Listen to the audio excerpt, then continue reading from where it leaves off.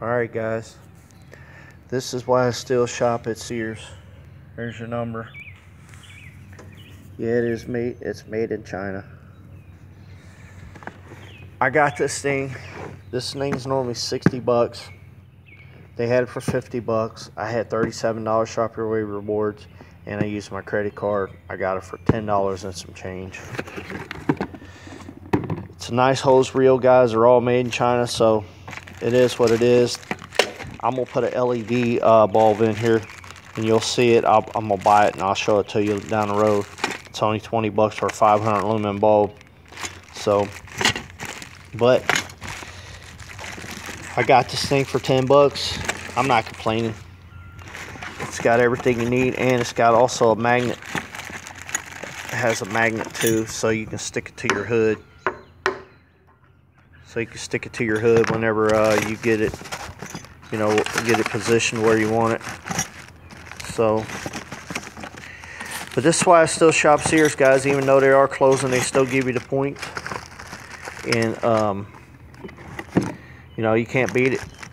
I mean heck you can't even, I don't even know if Harbor Freight's even sells uh, these these kind of things. So I'm trying to put it back in the box. One thing never get it to go back the way it came. Never. That might have got it right there. So, yeah, guys, this is why I still shop at Sears. Yeah, even though they're going out of business, they ain't restocked their stores in a long time. Because uh, I remember I bought their stubby wrenches off of them.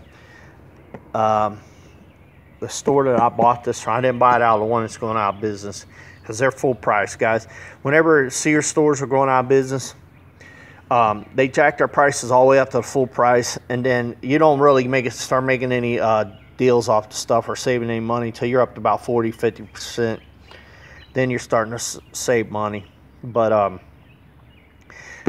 I, you know, I went to the one that was going out of business. I bought me some clothes because they're, you know, Levi's are 30 percent off. Can't beat that that's not too bad when they're 40 bucks.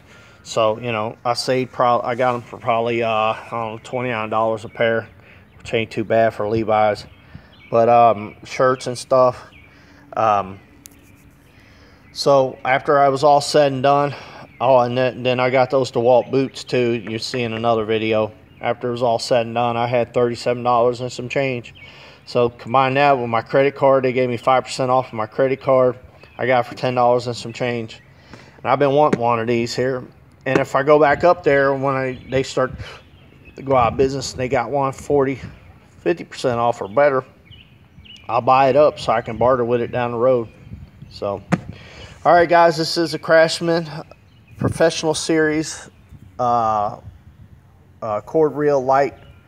Um, it's nice light for the money for what I gave for it, 10 bucks. That's why I still uh, use. That's why I still shop Sears.